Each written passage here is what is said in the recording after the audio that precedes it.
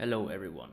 Since many of you use Node-RED on a Raspberry Pi, we've decided to do some content about Node-RED on the Raspberry Pi. In this video we will show how you can use the CPU node to monitor your CPU. This includes the usage and the temperature of the cores. To get started we need to install the CPU node. To do that you can go to manage palette, install and type in CPU.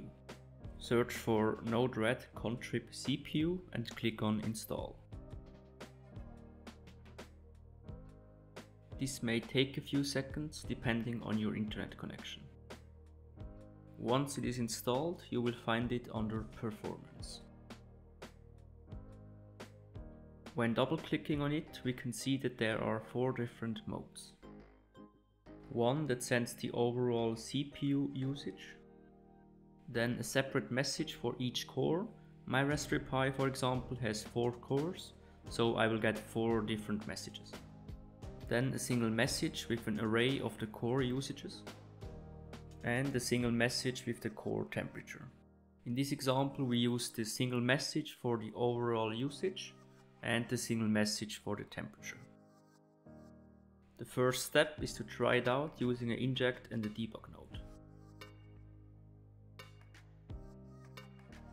We set the debug node to complete message object and try it out. So here we see that we get two messages. The first one has the topic overall. That's the current usage of the CPU in percent, which is 3.75. The second message is the temperature. In the payload we have the current temperature in degrees and in the max we have the highest value recorded since we started monitoring. Let's create a simple dashboard where we can see those values in a simple graph. So I've gone ahead and installed the dashboard nodes. We need two different charts. First we have to create our dashboard layout. We call our tab Raspberry Pi. And we create the group called CPU. We name the first chart usage. I want it to be a line chart and it should display the values of the last minute. We show the legend so we can see what's the name of our value and we add a blank label when there is no data available.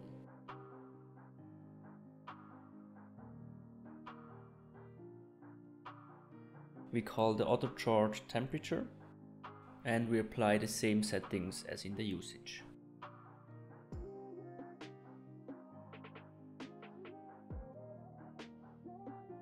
Before we move on, we will quickly have a look at our dashboard. As you can see, we have both our charts and our blank label is displayed. So I would like to have the usage above the temperature, so I will go to the layout and lock those charts in place.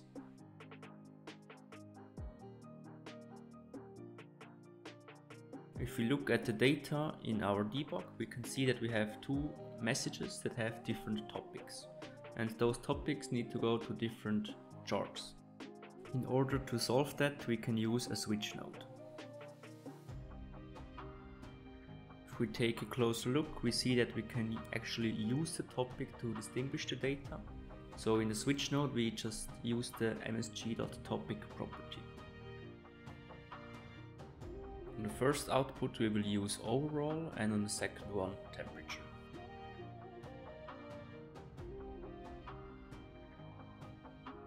Now we can connect the outputs to the according chart.